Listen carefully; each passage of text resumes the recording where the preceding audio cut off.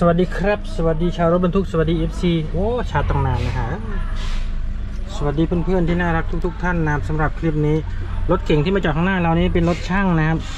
ช่างนอกสถานที่ผมเคยเรียกใช้บริการเกี่ยวแล้ว คือแบบว่าใครโทรมาอืมแป๊บนึงฮัลโหลแน่ต้มกากี่ตัวเหยอ่าโอเคโอเคติโยเลิกกี่เลยโอเคโอเคกินทำเมียนนะจะกินเต้นมันปรับโอเคเดี๋ยวยกยกเลิกยกเลิกเลยโอเคอะคืออย่างมิสนิมมันลือดินเนี่ยสมควรแล้วนี่ล้างได้อยังปะ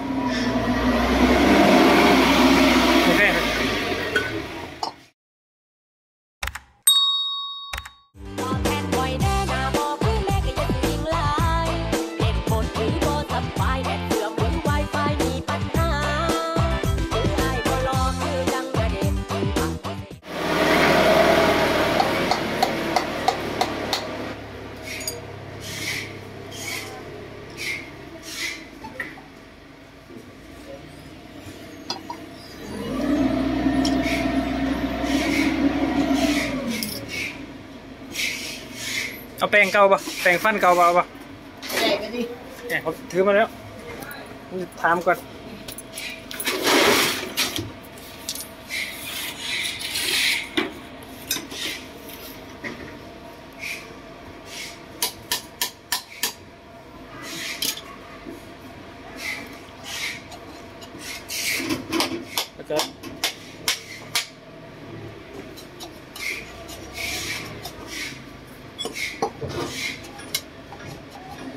ปิดล่มหัวไว้อยู่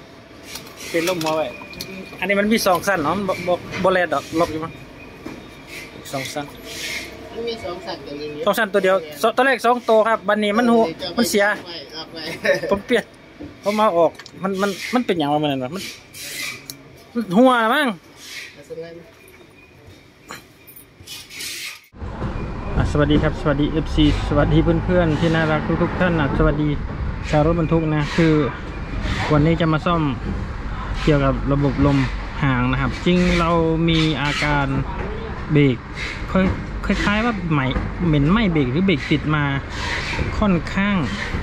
น่าจะสองสามเดือนได้นะแต่ว่ามันอาการไม่หนักเบื้องต้นเราก็ไปตั้งเบรกคลายเบรกผมใช้เบรกที่แบบอยู่น้อยที่สุดนะ พยายามตั้งคลายแล้วก็จินตนาสงสัยเองแหละว่าเบรกมันคลายช้าหรือเปล่าอะไรเงี้ยก็ไปเปลี่ยนสปริง ปลี่ยนสปริงก็มีคลิปทำไว้อยู่เปลี่ยนสปริงดึงให้มันเร็วขึ้นแล้วก็หาเช็คดูซาลาเปาลวกก็เปลี่ยนซาลาเปาไปสองอันไอ้กะละมัง ไม่ใช่ซาลาเปากะละมังลูกหนึ่งซาลาเปาอันหนึงโอ้โหซ่อมเยอะแยะมากมายเลยในลมยังไม่เจอวันนี้สันนิษฐานชัดแน่ๆแล้วว่าวาล์วลมตัวใหญ่ที่หางน่าจะอุดตันเพราะว่าไม่เคยได้ผ่านการล้างเลยแล้วก็ทุกอย่าง เวลาปล่อยเบรกไปสักพักหนึ่งมันจะใช้งานได้ปกติ แต่มันจะติดในช่วงที่ปล่อยเบรกใหม่ๆคล้าย ๆ ว่าลมมันคืนช้านะ แล้วเป็นทุกล้อเลยสันนิษฐาน พร้อมเพียงกันทั้งเฮียทั้งช่างทั้งผมอะเออน่าจะเป็นที่วาล์วลมเดี๋ยวมาดูกัน ว่าให้ช่างมาซ่อมที่นี่นะ ว่าจะอาการประมาณไหนวาล์วลมถอดออกมาแล้วมันจะเป็นยังไงไปรับชมแกให้ผมมาซื้อสไลด์นะครับ ซื้อสไลด์ไปล้างไม่ออกนะครับ แกก็เลยบอกว่า ให้มาเปลี่ยนแฟบนะครับ แล้วก็จะมีแปรงฟันเก่าให้แกไปแล้วเออ ผมไม่ได้แฟบไปนะ ผมได้โอโมอะน่าใช้ได้เหมือนกัน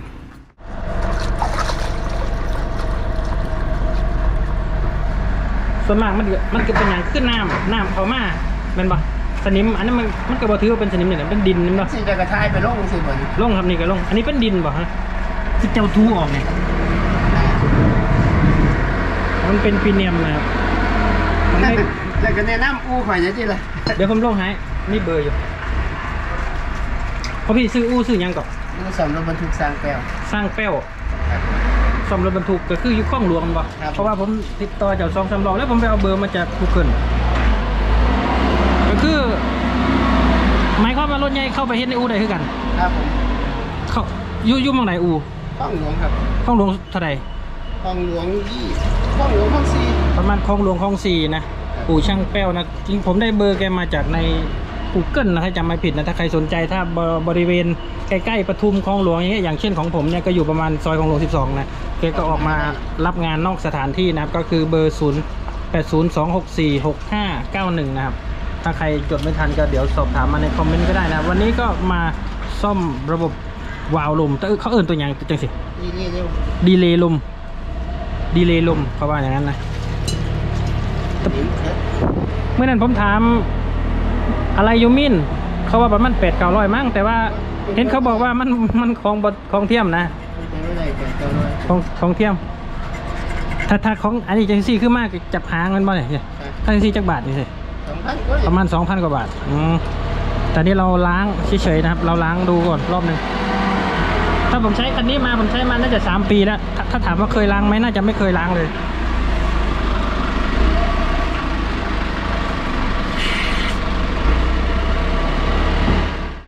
วกยางพวกอะไรเนี่ยก็ยังนิ่มๆอยู่นะครับ ก็เขาก็แนะนำเลยนะ ถ้าเปลี่ยนก็จะดีกว่าแต่นี้ เหมือนว่าถ้าซื้อมันได้ของเทียม ถ้าของแท้มันก็จะสองสามพันเลยใช่ไหม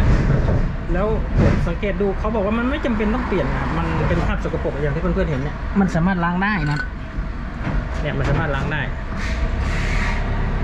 มันเป็นเศษดินนะเศษสนิมน้ำสนิมไหลมานะครับโอ้แต่ก็หนักอยู่นะแกก็เรียกแกนอกสถานที่ แกจะคิดแค่ค่าแรงนะครับเพราะระยะทางใกล้แกจะไม่ได้คิดค่านอกสถานที่นะค่าวิ่งออกนะแกไม่ได้คิดนะคิดแค่ค่าแรงที่ทำแต่วันนี้ให้แกมาเชื่อมไอ้กระบังฝุ่นด้วยกระบังฝุ่นหักแล้วตอนตอนประกอบเดี๋ยวจะพาไปดูว่ามันอยู่ตรงไหนยังคือยังจาระบีสิบอก เออเออ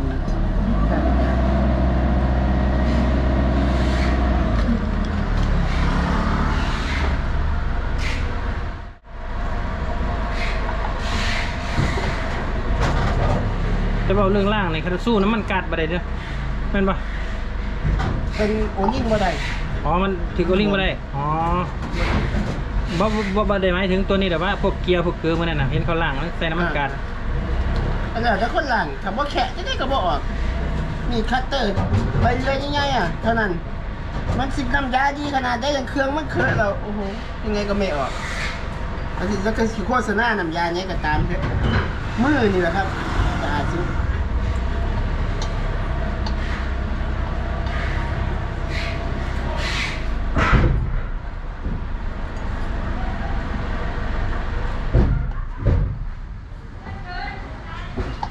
เมื่อกี้ผมก็ติดตามสองหลานสามหลานได้สิว่าได้หลายบาทวะโอ้บเรือแล้วครับจะสั้นซิมีรถครับแพงๆบ่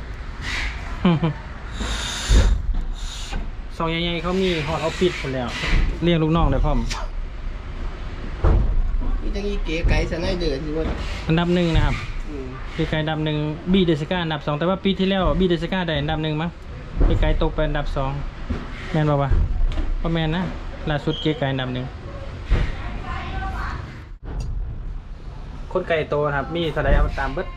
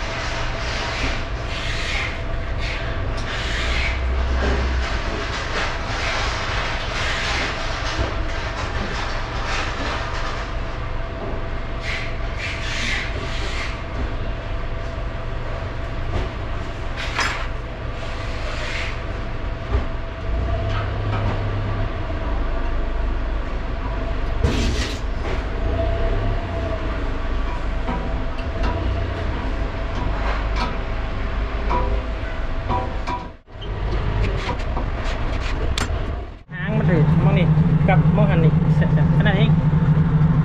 ผมต่อสายไฟไว้ให้แล้ว เดี๋ยวผมถอดปลั๊กกล้องก่อน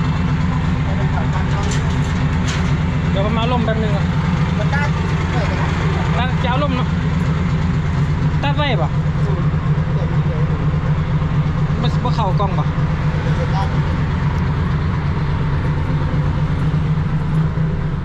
ตู้นี้มันเป็นตู้เสไปต่างประเทศเลยนี่ก็เอาไปทั้งตู้เลยยกลงเขามีเขามีแต่รถกระพื้นเส้นเล็กกับเส้นเล็กไปซื้อไปส่งต่างประเทศตัวนี้ก็ให้แกเชื่อมตรงนี้นะครับ แล้วก็ตรงนู้นก็คือยึดตัวนี้นะครับ เพราะว่าวันนั้นอ่า ไปที่พนมสารคามแล้วมันชันใช่ไหมห่างตัวนี้ลงมากดตัวนี้ โดยที่มันไม่มีแป้นรอง ก็เลยหักนะครับแกก็เลยคิดค่าเชื่อมไปคิดค่าเชื่อมไปประมาณห้าร้อยบาทนะ แล้วก็มีค่าแรงค่าซ่อมทั้งหมดเดี๋ยวผมขึ้นให้ดูหนึ่งพันหกร้อยบาทนะครับหนึ่งพันหกร้อยบาทนะเดี๋ยวผมจะพาไปดูว่าแกทำอะไรบ้างนี่นะครับ ตัวนี้นะแกก็ถอดมาล้างนะ จากการสันนิษฐานก่อนหน้านี้แล้วนะครับ ว่ามันน่าจะพังนะว่ามันน่าจะพัง ตัวนี้เจ๊บอกว่าเขาเรียกว่ามินิวาลวนะแต่ผมเข้าใจว่ามันเป็นวาล์วลมเร็วนะเนี่ยตัวที่ลมจะมาเข้าถังนะใช่ไหมแล้วก็จะปล่อยมาที่วาล์วแล้วก็วาล์วตัวนี้ก็กระจายไปตามล้อต่างๆนะครับ ก็ตัวนี้มันมีปัญหาสกปรกอย่างที่เพื่อนๆเห็นเลย ก็เลยทำให้ เบรกค้างเบรกช้าเบรกติดนะครับ ตอนนี้ก็ซ่อมเสร็จแล้วนะครับ 1,600 บาทนะครับ นี่ก็โอนไปเรียบร้อยตามสลิปจำขึ้นสลิปให้ดูเนี่ยตัวนี้แหละถอดมาล้างเนี่ยเดี๋ยวรอบหน้าผมดูไว้แล้วทำเป็นแล้วรอบหน้าทำเป็นเดี๋ยวผมถอดล้างเอง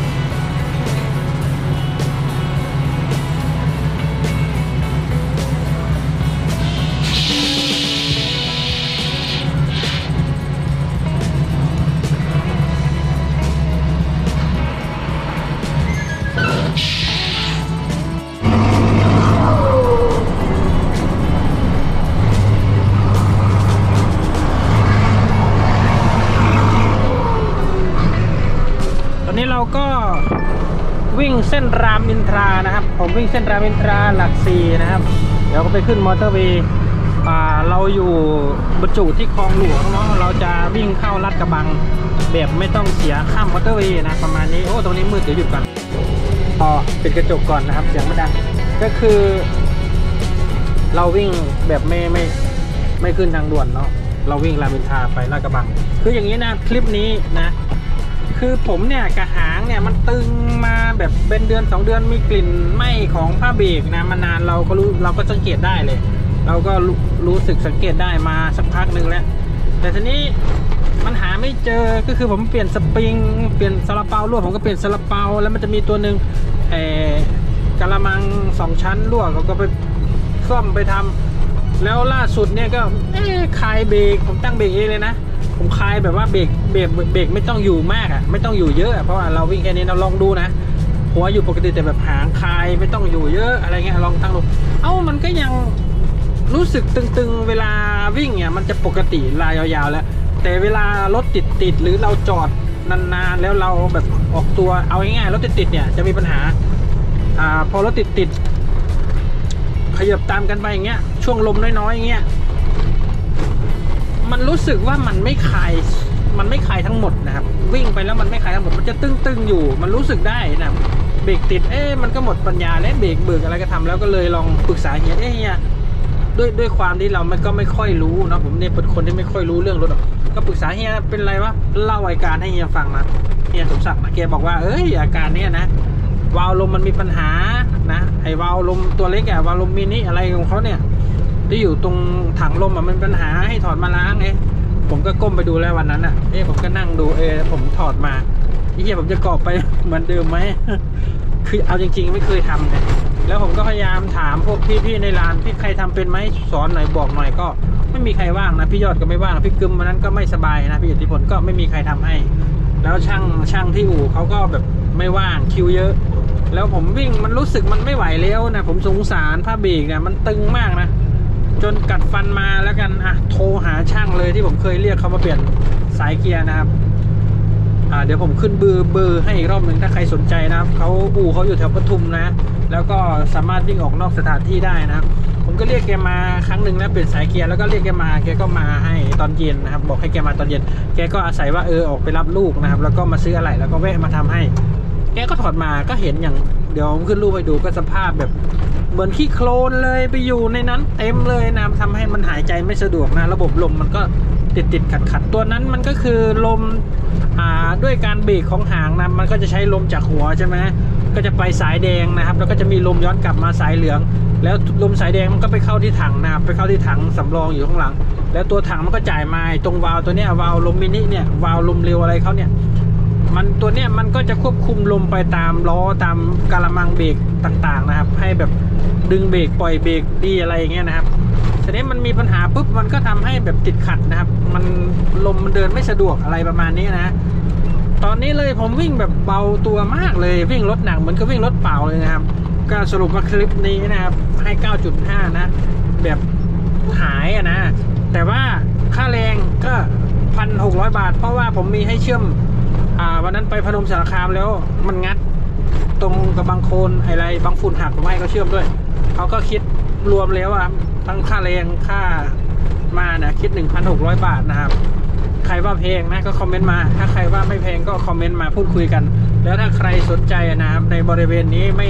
ไม่สามารถเอารถเข้าไปในอู่ได้ หรือติดงานเหมือนผมนะมาบรรจุงานเขายังมาซ่อมให้อะไรประมาณเนี้ย เอาความสะดวกเอาความสบายเราเอางานด้วยเนาะก็สามารถติดต่อช่างได้นะครับ ก็โทรเบอร์ตามที่ผมขึ้นให้ด้านล่างนี้เลยสำหรับคลิปนี้สุริยาพามาทัวขอจบคลิป แต่เพียงเท่านี้ก็แล้วกัน ถ้าใครบอกว่าโอ้ผมขับรถมาตั้งนานนิดๆหน่อยๆไม่ทำเองผมทำไม่เป็นจริงนะต้องกราบขอโทษด้วยนะครับ ดูเป็นแต่ทำไม่เป็นนะเจอกันคลิปหน้านะครับสุริยาบำทุกสวัสดีครับยับเมนการนี่คืออย่างมิสนิมมันลือดินเนี่ย ควนแล้วนี่ล่างได้ยังมั้ย